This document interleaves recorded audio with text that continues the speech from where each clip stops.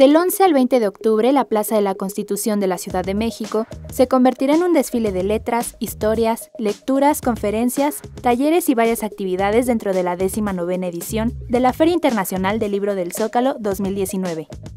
Al respecto, el coordinador de Memoria Histórica y Cultura de México, Eduardo Villegas Mejías, enfatizó. Uno de los 100 compromisos del presidente Andrés Manuel López Obrador en esta misma plaza el 1 de diciembre fue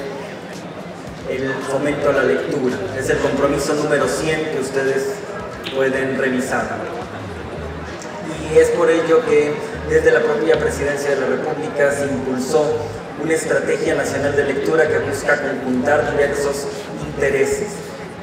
diversas dependencias y diversas iniciativas que desde diversos ámbitos justamente se vienen realizando en torno a la lectura.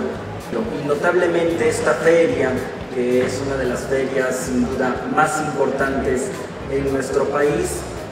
lo que busca es festejar la palabra y de esa manera se disocia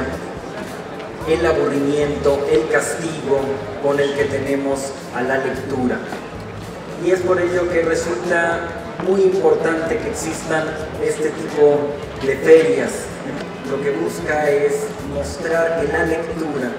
no es simplemente una obligación, sino que la lectura nos abre mundo, nos permite conocer.